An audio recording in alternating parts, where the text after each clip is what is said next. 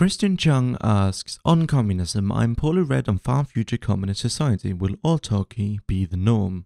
I wouldn't necessarily say so. Autarky means a society which is self reliant when it comes to resources. And so usually it's um, a term for nations, right? So Nazi Germany, for example, had a policy of autarky, um, and they built synthetic refineries and these kind of things to supply their army with oil and rubber and fuel so that they wouldn't have to rely on trade with other nations. North Korea also follows a policy of self reliance and autarky and these things, and they try to do everything themselves and they try to build their nation in such a way that they don't have to trade with the outside. In a far future communist society, I wouldn't say that autarky would ever be the norm because it doesn't make a lot of sense for community. I mean, in a, in a far future communist society, I assume you'd be talking about communities, right? And how, I mean, e- even to to define what a community is in a far future communist society, like yeah, you'd have communities and city districts or whatever, but that any of those would be autarkic, that any of those would be independent from from each other and self-reliant, and that like every city block in the world would have all the resources it would ever need to support itself. Um, I don't think that that's a realistic goal, or even that it's necessarily a goal worth having. Communism fundamentally is about cooperation instead of competing with each other and being isolated from each other. So autarky, I don't think is a worthwhile goal to have, especially not in the long run of our future communist society. Christian also asks, for beginners, what are a couple of ways of describing stateless society?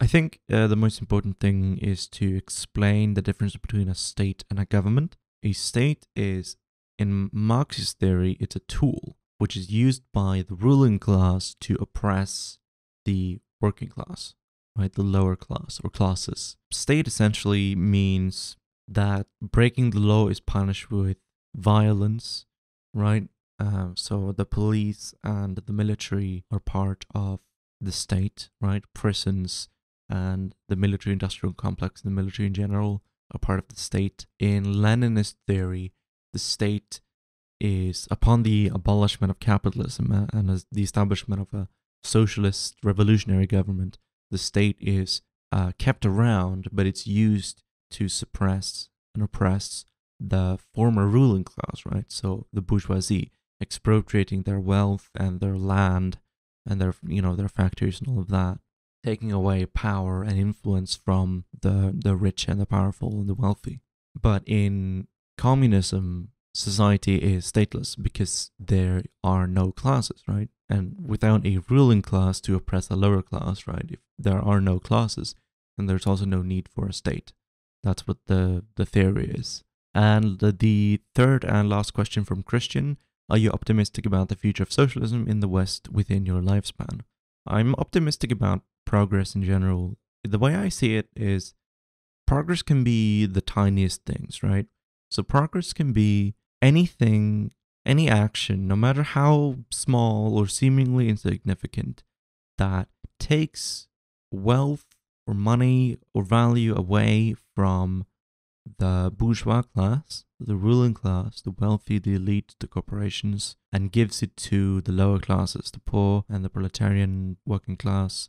Whether that is, you know, striking for increased wages or increasing minimum wage or you know, lower taxes on the working class, lower prices on foodstuffs, lower prices on these things, you know, necessary things in general, lower rent, all of these things which work to save money for the vast majority of people and take money away from those who have so much money that they could not possibly spend all of it within their lifetime, even if they actively were trying to spend it all. That is progress to me, right? Because money is power. And of course, the goal of socialism and communism is to take power away from the wealthy and the elite and give it to the rest of society, to give it to the vast majority of people, to redistribute that wealth and that land and those factories uh, and you know the capital.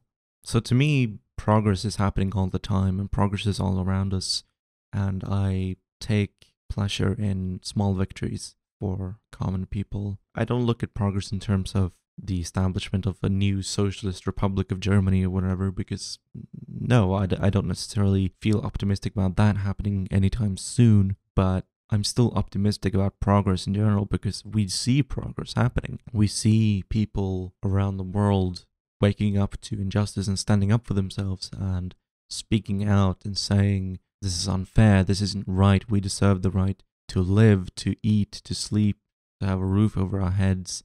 We deserve the right to have a job with decent pay. And whenever anything like that happens, whenever a strike happens, where people demand what is rightfully theirs, that to me is progress, and that makes me optimistic about the future. Alpert Hilbert asks on communism slash socialism. I live in China and I hear that socialism and communism is highly suppressed in Europe and US during the Cold War. How is the situation nowadays? Are there academic departments in, of Marxism in universities? Do people get discriminated or isolated there if he reveals himself as a Marxist or socialist? It is very, it is true what you've heard that communism and socialism were suppressed during the Cold War in the West. Um, in Sweden, for instance, where I live, there was a um, something called the Black List, which was created by the security police. They created this list of radical communists who they would then pass out to potential employers, right? So to capitalist business owners to warn them not to hire certain people because they had communist beliefs. And that blacklist policy lasted up until the year 2000. So, nine years after the dissolution of the Soviet Union and nine years after the Cold War ended, we still had that Cold War policy in place, which did legally and actively discriminate against communists. Of course, in the United States, there was COINTELPRO, I believe it was called, uh, the FBI program, which would infiltrate and eventually murder and execute people who were members of left wing political parties. The Black Panthers, for instance, famously, the Communist Party USA was infiltrated by the FBI, not to mention all of the numerous CIA uh, operations in South America trying to undermine uh, socialist revolutions and and politicians in South America. Uh, Salvador Allende, of course, is the probably the most famous example when the CIA staged a coup in Chile to overthrow the democratically elected socialist Salvador Allende, and they replaced him with a military dictator Augusto Pinochet. And they, you know, the United States tried to invade Cuba in the Bay of Pigs, uh, and uh, I mean, there's a long, long, long list of the United States trying to overthrow and coup and execute and assassinate communists all over the world and within the United States itself. So you're definitely correct when you say that communism and socialism are highly suppressed, were highly suppressed during the Cold War. Um, we do still see remnants of those policies, uh, especially in the United States. We still see in Bolivia, for instance, the United States staged a coup in Bolivia to get rid of the very popular socialist Evo Morales. And in Venezuela, of course, they've been trying for a long time to overthrow uh, Maduro and replace him with Juan Guaido, who is a social democrat, uh, liberal, you know, friendly to the United States. Uh, of course, in Cuba, the CIA has, you know, were trying to assassinate Fidel Castro long after this uh, Cold War ended. Reportedly, they tried something like over 600 times to kill him. So the United States is definitely still not friendly towards socialism or communism, and they're still continuing with those old Cold War policies of suppressing socialism and communism around the world. Um, but things have been getting better. Uh, socialist and communist political parties are, for the most part, allowed to participate in democratic elections. Um, are there any academic departments of Marxism in universities? There are no. Marxism is not a subject in schools really in any universities that I'm aware of. Um, there aren't really a lot of Marxist professors in universities, in my experience. I think I had a professor once who was a kind of post leftist kind of deal, but other than that, no.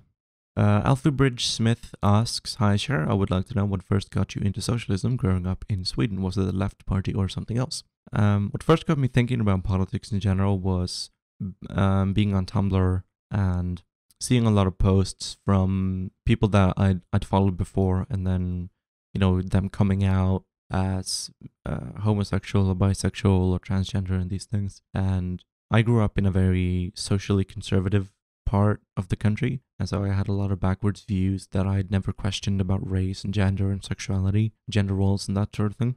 And so when I started being exposed to people that, you know, I really liked and that I really admired, and then them sharing their experiences and perspectives on gender and sexuality and race, I started realizing how wrong I'd been and how kind of fucked up the ideas that I'd had when I was uh, young had been.